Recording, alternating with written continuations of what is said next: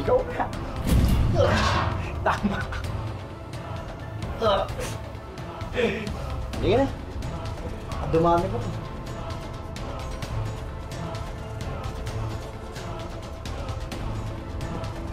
Uy, tulungan niyo yun! Tulungan niyo! Believe na talaga ako sa'yo, Cal.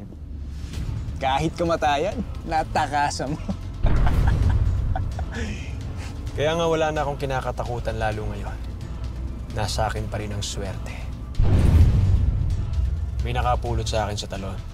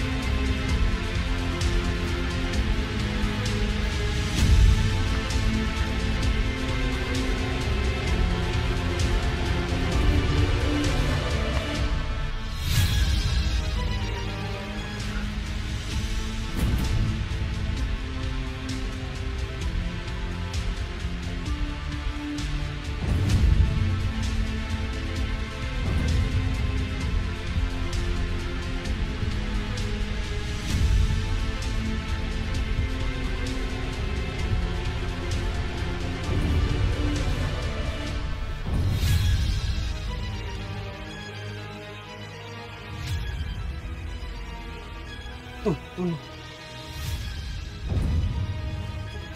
mo ako.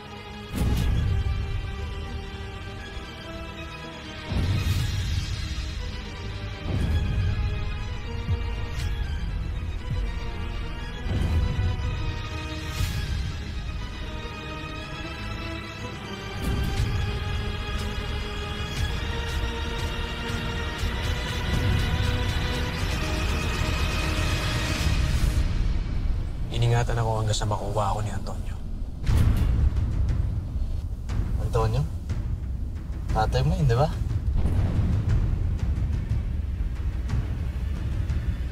Paano mo nalaman yung tungkol dito?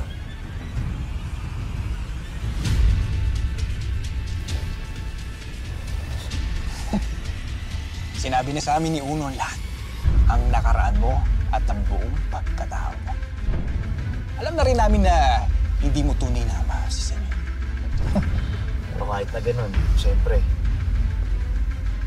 Kahit anong mangyari, kayo lang katapatan namin, tol. Alam ko namang maaasahan ko talaga kayo eh. Kaya nga lalong lumalakas ang loob ko dahil alam ko may makakakampi na naman ako. Oras na para bumuo tayo ng bagong sindikato. Isasama natin si Antonio at si Senator William. To? Di ba traitor yun? Kaya nakukulong si senyor ngayon dahil sa kanya. Huwag kang magalala, Pablo. Hindi ako kasing tanga ng kinilala kong tatay. Gagamitin lang natin sila hanggang sa mabalik natin yung kapangyarihan natin.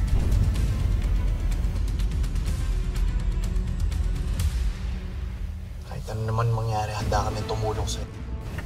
Ang mahalaga muna ngayon, mamatay si Elias. Hindi ako namatay kasi nga hindi ko pa siya napapatay. Papatay natin si Elias. Pati na rin yung mga mahal niya sa buhay. Yan, Kenyas. Damay-damay na to.